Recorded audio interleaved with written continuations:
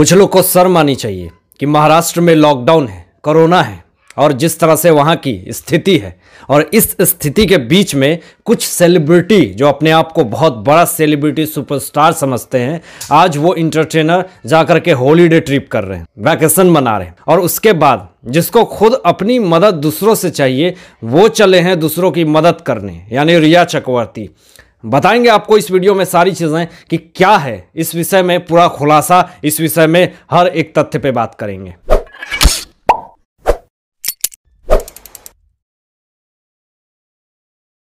दोस्तों, आप लोगों को पता है कि महाराष्ट्र में, मुंबई में जिस तरह से स्थिति अभी जितनी डवाडोल है, वहाँ की जो गरीबी है, ऐसी स्थिति में वहाँ लॉकडाउन लगना एक अपने आप में एक बहुत ही भयभीत करने वाली बात होती है। लेकिन इसी बीच में जो पूरे देश भर में, पूरी दुनिया भर में लोग, जो बड़े बड़े इंटरटेनर को फॉलो करते हैं और आज वो सेलिब्रिटी बनते हैं, बहुत बड़ा इंटरटेनर सुपरस्टार बनते हैं, आज वो मालदीव की खुली वादियों में, हस्तियों में जा कर के ठंडी वादियों का मज़े ले रहे हैं। इंजॉयफुल अपनी सोशल मीडिया पे फ़ोटो शेयर कर रहे हैं पोस्ट कर रहे हैं। तो इस पर से एक बहुत ही बड़ा बयान आ चुका है नवाजुद्दीन सिद्दीकी साहब का कि उन्होंने ये कहा कि अगर आपके पास पैसे हैं, आपको शर्म आनी चाहिए कि आप इस तरह से वैकेशन पे पैसे उड़ा रहे हो, जहाँ पे कुछ लोग खाने के लिए तरस रहे हैं। कुछ लोग ऐसे हैं जो अपनी स्थिति, बुरी परिस्थिति से गुजर रहे हैं। एक वक्त खाते हैं तो कल के लिए सोचते हैं कि आज खाऊँगा तो कल क्या खाऊँगा। इस तरह की उनकी अभी ज़िंदगी चल रही है। वहाँ की स्थिति, वहाँ की परिस्थिति कितनी दयनीय हो चुकी है। लेकिन इन सब चीज़ों में जो सेलिब्रिटी जो अपने आप को मानते हैं, बड़े इंटरटेनमेंट के बादशाह मानते हैं, जो किंग खान मानते हैं, और बहुत सारे ऐसे कपूर खानदान के परिवार के बच्चे हैं जो मालदीव जाकर के सोशल मीडिया पर पोस्ट शेयर कर रहे हैं। वो कौन कौन लोग हैं? मैं बताऊँगा आपको। आपको। इस पर से नवाजुद्दीन सिद्दीकी साहब का भी बयान बताऊँगा कि उन्होंने कहा कि अगर पैसे ज़्यादा हैं तो दान करो, गरीब लोगों की मदद करो। इस तरह से जो पैसे उड़ा रहे हो, वैकेशन पर से सर मानी चाहिए तुम सारे लोगों को। उसमें से आपको पहले बता दूँ कि जानवी कपूर का फ़ोटो आया था मालदीव से, देन उसके बाद सारा अली खान का भी आता है पिक्स, देन उसके बाद रणवीर कपूर और उसके बाद आलिया भट्ट जाती हैं मालदीव, देन उसके बाद रणवीर सिंह, दीपिका पादुकोण जाती हैं। तो इस तरह से लोग जाकर के हॉलीडे ट्रिप कर रहे हैं और वहाँ से फ़ोटो पोस्ट कर रहे हैं, शेयर कर रहे हैं।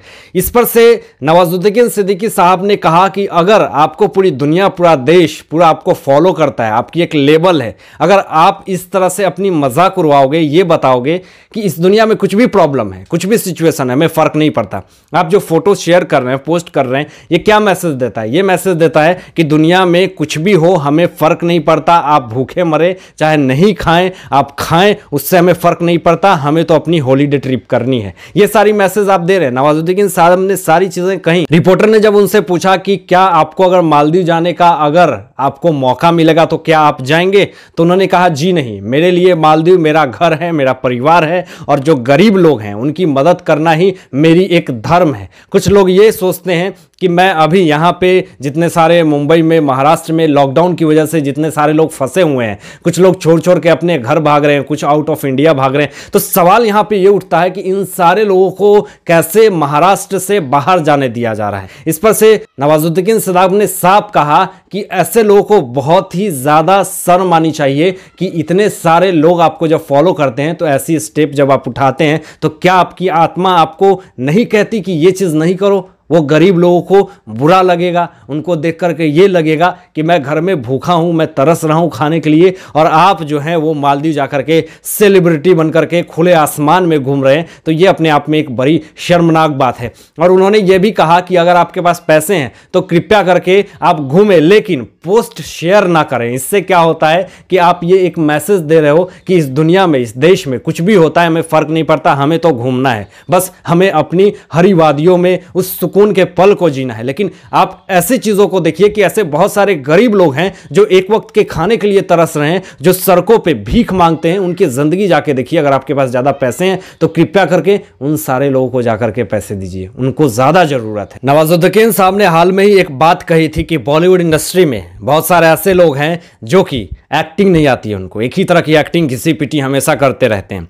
कहने का मतलब ये कि कभी भी बॉलीवुड इंडस्ट्री में कुछ ऐसे मुद्दे होते हैं, जो ऐसी बातें होती हैं, वो नवाजुद्दीन साहब उस चीज़ को उठाते हैं। और क्यों उठाते हैं मैं आपको बताता हूँ। इसका रीज़न है। जब कोई भी आउटसाइडर बहुत स्ट्रगल करके उस मुकाम को पाता है और वहाँ उस मुकाम को पाने के बाद उसे सफलताएँ मिलती है तो उसे लगता है कि एक पैसे की अहमियत क्या है? मैंने कितने स्ट्रगल करके, कितने मुश्किलों, हालात को जी करके मैंने इस हस्ती को पाया है। मैंने इस इतने बड़े सफलता को पाया है। मैंने इतने पैसे को कमाया है। उसके लिए पैसे की इंपॉर्टेंस होती है, सफलताएँ की इंपॉर्टेंस होती है। सफलताएँ पाना बड़ी बात नहीं है, लेकिन उसको बरकरार रख पाना बड़ी बात है। ये सारी चीज़ें नवाजुद्दीन साहब जानते हैं। और इसीलिए जब भी बॉलीवुड इंडस्ट्री में कुछ ऐसे लोग हैं, उन्हें फ़र्क नहीं पड़ता कि ये नेपोटिज्म का कीड़ा है या कोई बहुत बड़ा कपूर खानदान का बच्चा है। उन्हें बस ये फ़र्क पड़ता है कि अगर आपके पास पैसे हैं तो क्यों घुमा रहे हो, क्यों उड़ा रहे हो? हर इंसान को मन करता है बाहर घूमने का। ऐसा नहीं कि आपको नहीं मन करता होगा, चाहे हमें नहीं मन करता होगा, लेकिन अभी इस देश की क्या स्थिति है, क्या हालत है, ये आप लोगों को भी पता है।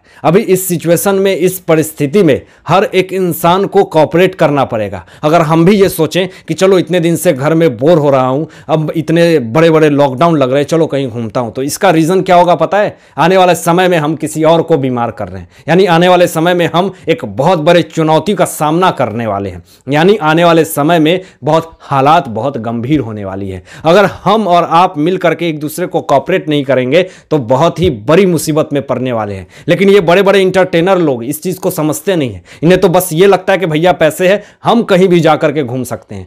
भगवान न करे ऐसा कभी कुछ हो अगर कहीं बाहर से आप कुछ ऐसे वायरस को लेकर के आ गए और भारत देश में अगर आपने फैला दिया तो फिर इस देश को कौन बचाएगा? एसएसआर केस में मेन एक्यूज मानी जानी रिया चक्रवर्ती, जिनको अभी अपने खुद किसी से मदद की ज़रूरत है। अब इन्होंने स्टेटस डाला अपने इंस्टाग्राम पे और उन्होंने कहा कि अगर भारत देश में किसी को भी मदद की ज़रूरत है तो कृपया हमें मैसेज करें, हमें कमेंट करें, हमें इनबॉक्स में डीएम करें, हमें कुछ भी बातें शेयर करें, हमसे हम आपकी मदद करेंगे। ये बहुत ही हास्यास्पद बात है।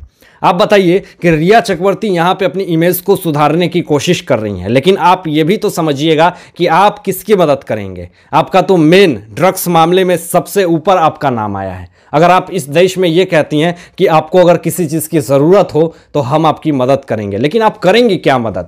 इस देश में बहुत सारे लोग हैं जो मदद की गुहार मंगा रहे हैं। तो आप करिए, मदद करिए। ये मत लिखिए कि मदद की ज़रूरत है। आप ये दिखाइए कि आपने कितने लोगों का मदद किया। ये स्टेटस मत लगाइए कि मदद की ज़रूरत है तो हमसे आप बात कर सकते हैं। आप ये दिखाइए कि हमने इतने सारे लोगों की मदद करी। तब जानेंगे कि आपने सच में कुछ लोगों की मदद करी। दोस्तों, आपको बता दें कि उन्होंने ये भी कहा कि मदद छोटी हो या बड़ी, मायने नहीं रखता, मदद मदद होती है। जितना हो सकता है हम करेंगे और हमारी जितनी कोशिश है, हम पूरी उसमें सफलता पाने की कोशिश करेंगे। यानी रिया चक्रवर्ती कहीं ना कहीं अपनी इमेज को पूरी तरह से सुधारने और संभालने की कोशिश कर रही हैं। लेकिन बीते सालों में जिस तरह से उनके साथ हुआ है और जितना उन्होंने करा है और जिस तरह से सोशल मीडिया पर उनके बारे में चर्चाएँ हैं, न्यूज़ चैनल पर जितनी सारी बातें आई हैं। हमें नहीं लगता कि इतना कुछ करने के बाद भी रिया चक्रवर्ती की इमेज में कोई भी सुधार आएगा। क्योंकि उन्होंने अपने पैर पे खुद कुल्हारी मारा, ऐसी ऐसी राह पे उन्होंने चला, जिससे कि पूरे देश भर में रिया चक्रवर्ती फ़ेमस हो जाती हैं। हालाँकि नवाजुद्दीन सिद्दीकी के बाद पे आप लोगों की क्या सोच है? अगर जितने सारे बड़े इंटरटेनर अगर मालदीव जा रहे हैं तो इस पर आपकी क्या सोच है? क्या विचार है? अपनी विचार ज़रूर व्यक्त कीजिएगा मेरे साथ। और रिया चक्रवर्ती के नया कदम पे आप लोग क्या सोचते हैं इस विषय में? अपनी विचार ज़रूर कमेंट कीजिएगा, अपने विचार को। तो आज के लिए बस इतना ही। धन्यवाद।